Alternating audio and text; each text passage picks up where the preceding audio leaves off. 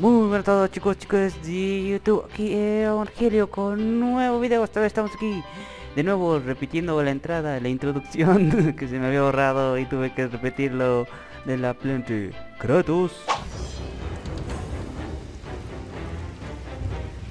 El fin de mi venganza. Y Superman.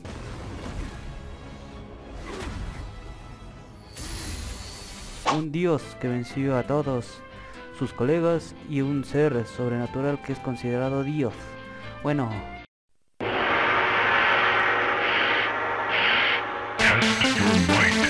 Ya dense la madre, ¿ves? What? Ahí va, ahí va, ahí va, ahí va. Le costó un poquito, les costó un poquito. Pero ahí va, están dándose, están dándose guerra. Esta vez, ojalá que me salga bien a la primera, porque no quiero estar repitiendo de nuevo, porque si no, esto me costó, chuta, me costó reiniciar el mapa, reiniciar todo, construir todo de nuevo. Mierda, y termina, y termina de la misma manera. Ay, Diosito, bueno, nos, nos vemos en un segundo. 13 y 28 de la madrugada. Y muy bien, aquí estamos de nuevo con la segunda batalla.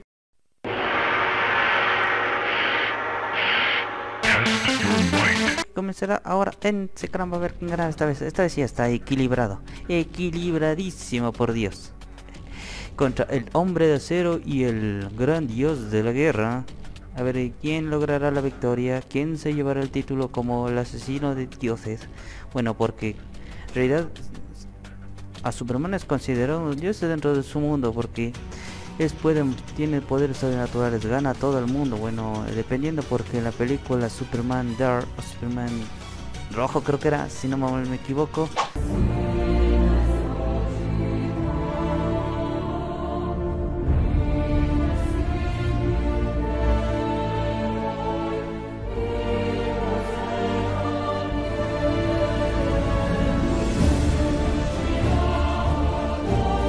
termina siendo derrotado por la Mujer Maravilla y un grupo de linternas verdes creado por Luthor, pero dudo cómo crearían grupos de linternas Luthor sin obedecer a los guardianes. Los guardianes son los únicos que pueden tener el control de todas las linternas, sabiendo que ellos crearon el primer anillo para destruir a, para controlar o equilibrar el mundo el universo porque notaron que hay muchas guerras muchas disputas en él crearon una serie de anillos, los cuales fueron tres primeros por, por todos. Primer anillo por Abra, un escriba que fue heredado por luego por Avinsor y por último Hal Jordan, pero en esta película Hal Jordan nunca tuvo el anillo y de ahí se clonaron la variedad de anillos que existieron y por lo tanto con eso lograron retener a Superman pero pero no destruirlo. bueno, ya sabemos que Superman ganaría al dios, al dios de la guerra Kratos en una batalla normal. Ay, Dios mío, espero que les haya gustado esta pequeña enfrentamiento y comentada. No sé si les gustó como comenté o si quieren que haga así o que quieren que comente la batalla. Pónganlo en los comentarios, pero bueno, espero que les haya gustado. Comentar, compartir si les gustó y nos vemos hasta la próxima. Adiós.